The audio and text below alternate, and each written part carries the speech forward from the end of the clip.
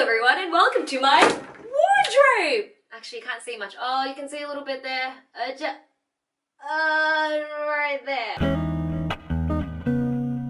So after um, spending two months in isolation at home and just looking at my wardrobe and all the neglected items and clothing, I feel like it's time for me to minimalize my wardrobe, de-stress it, especially when I've worn loungewear for the past 70 days. But yeah, I don't wear a lot of the items. It makes me feel guilty. It makes me feel uncomfortable because I've wasted so much money on these items and waste the fabrics and the labor that's gone into them. So I want to downsize it. I want to donate some items and I want to sell some items on Depop, eBay or Carousell. Let me know which one you guys use and hopefully someone can repurpose these items and show them more love. So yeah, if you've been looking and waiting and putting off cleaning out your wardrobe and depopping those items and donating those items, this is your motivation. This is your sign to do it because cleaning and reorganizing your wardrobe is fun, but when you actually have to like list the items and take photos of all of them and then list them one by one, oh my gosh, it could take me half a year to a year to actually do it. So just a little walkthrough of my wardrobe. Yes, um, I'm very lucky to have such a big wardrobe. We use most of it for storage, so this is kind of like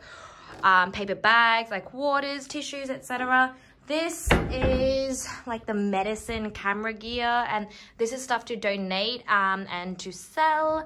And then this side I have my pride and joy, my beautiful knits. This is probably one of the more used wardrobes. I alternate depending on season. So I've pushed all like my summer tops to this side and I've got like jumpers and jackets now. And then up there, I've got the heavier jackets. So my wardrobe has this weird pulley system. It took me one year to figure out how to use it. So you pull it like that and then you can pull it down so then you can use it because the wardrobes are so high that it's like impossible for you to reach the very top. Opposite this wardrobe, we have like the kind of handbag and shoe area that's obviously been very neglected due to uh, COVID. Long time no see, guys. How you been doing? This is pretty organized. Um, aside from that, and this is where I keep my jewelry as well. This lesser used wardrobe is like dresses, jeans, pants, and on the top I have like puffer jackets and then formal wear. As you can see, it's like quite organized, but as I look at this right now, I know I don't wear one third of this stuff. So let's get started on this.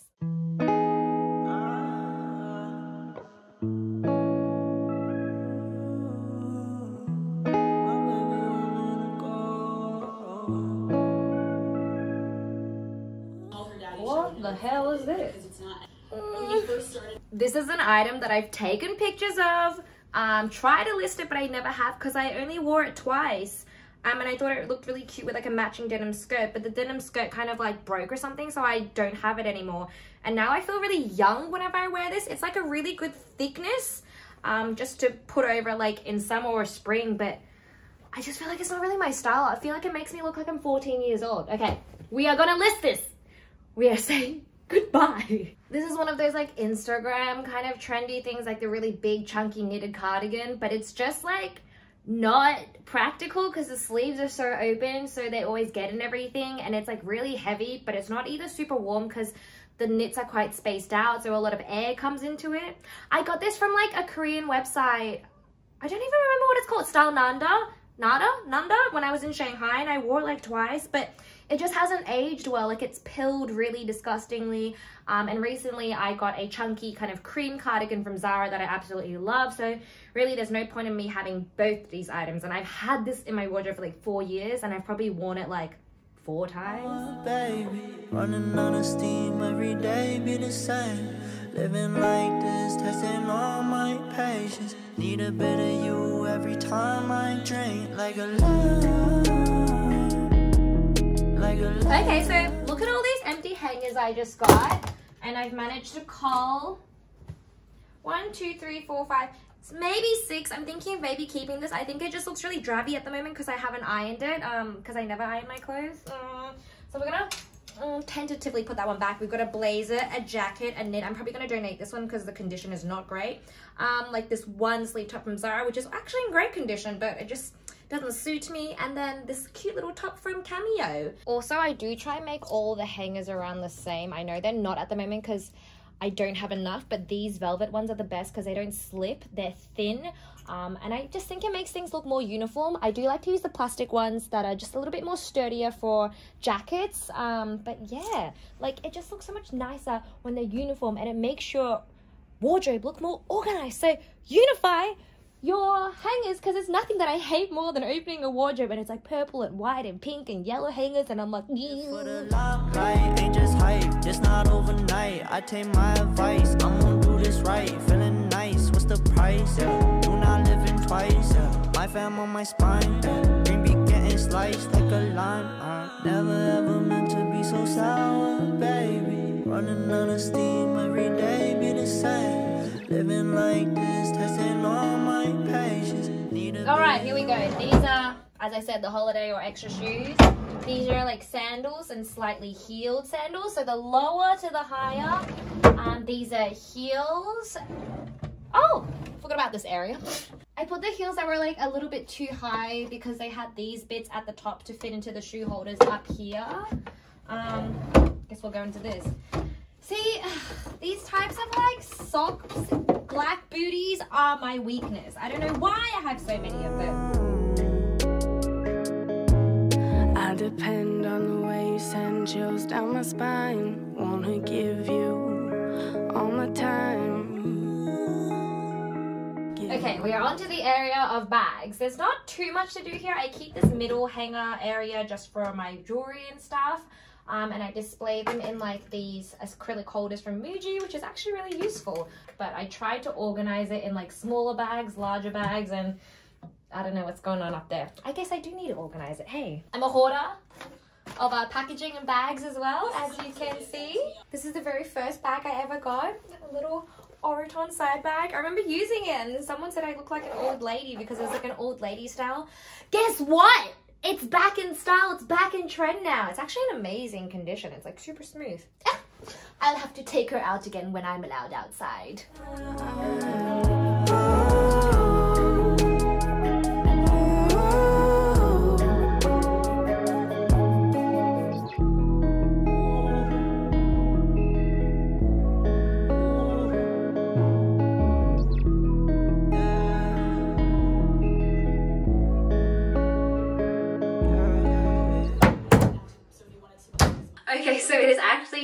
Two now.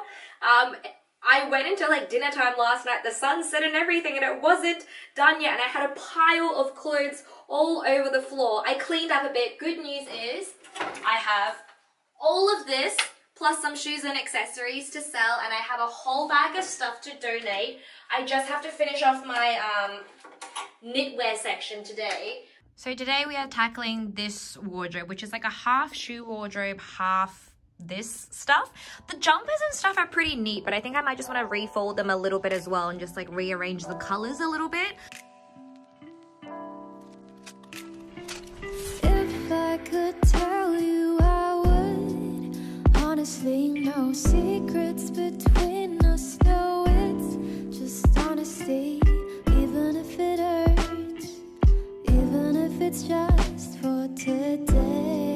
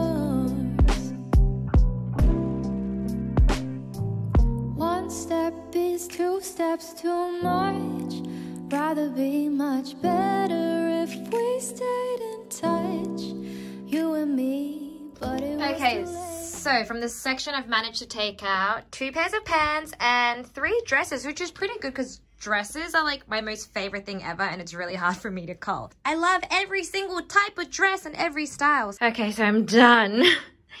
These two bags here are going for donation. And all of these items I'm going to list on Depop. All of this, some of this stuff is brand new. Some of this stuff I've worn like once or twice. She's culling, she's cleaning.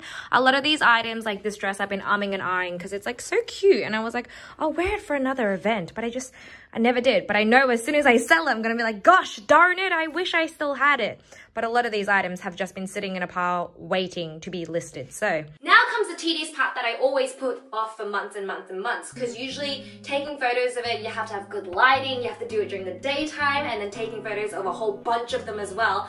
And also like the hardest part is when you have to take photos of the item on you. I did that once. I got my act together, took photos of like 30 items of clothing on me, not a single one of them sold. So I don't know if it just, it doesn't work better if you see the item on the person's body, but let me know. Do you prefer to see the item hung up or on the person's body? And which app? Because I've been tossing up and posting them across multiple apps is just so time consuming. Like it takes me so long just to list one item, let alone 30 items times three platforms. That's 90 listings basically. Issue with eBay, it sells, there's a lot of people on it, but uh, they take 10% listing fee, which is fair because you're using their platform. And then PayPal, I think, takes 3 to 5%.